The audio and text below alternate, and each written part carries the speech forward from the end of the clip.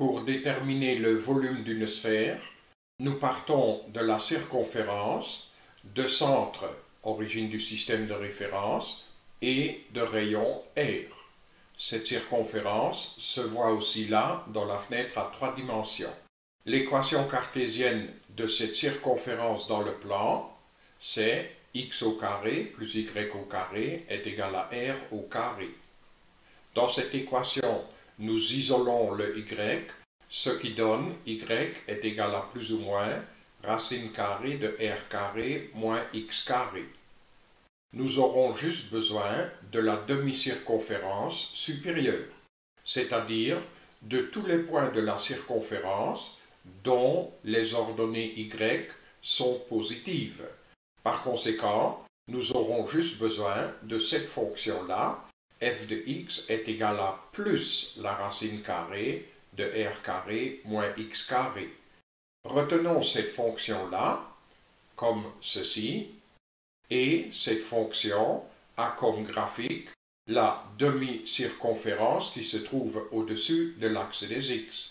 Par conséquent, le graphique de f, le voilà. Nous voyons ce graphique également dans la fenêtre à trois dimensions. Maintenant, nous allons faire tourner cette demi-circonférence autour de l'axe des x. Observez bien.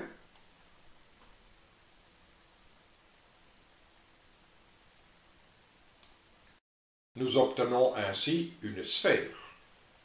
Lors du tutoriel F6014, nous avons démontré que un solide obtenu par rotation d'un graphique de fonction autour de l'axe des x a comme volume ceci.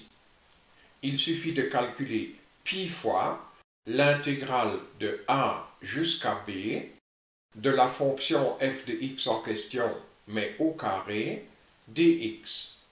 Nous allons utiliser cette formule pour la sphère.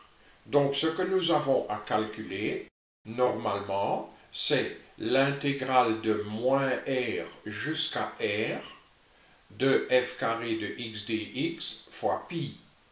Mais vu la symétrie, il suffit de calculer l'intégrale de 0 jusqu'à r et de multiplier cette intégrale par 2.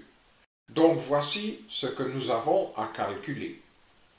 Ce carré va disparaître avec la racine carrée. Donc l'intégrale à calculer, la voilà.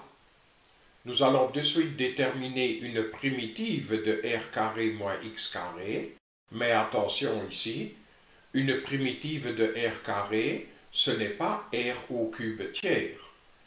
r au carré c'est une constante, donc une primitive de cette constante, c'est cette constante fois x.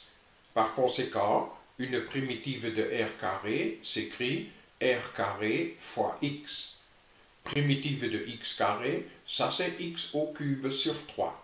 Donc, nous avons à faire varier cette primitive entre 0 et r. C'est-à-dire, d'abord nous remplaçons là-dedans le x là et là par r, nous obtenons ainsi un nombre. Ensuite, on remplace le x là et là par 0. Nous obtenons un deuxième nombre. Et ce deuxième nombre est à soustraire du premier nombre. Donc voici le calcul que nous obtenons. Regardons cette deuxième parenthèse. r au carré fois 0, ça donne 0. Moins 0 au cube divisé par 3, ça donne encore une fois 0. Donc cette parenthèse-là disparaît. Ici, nous avons r au cube moins r au cube tiers. Ça, ça donne 2r au cube tiers. Et multiplié par le 2pi, ça donne donc finalement 4pi r cube divisé par 3. Donc, le volume d'une sphère de rayon r se calcule par 4 fois pi fois r au cube divisé par 3.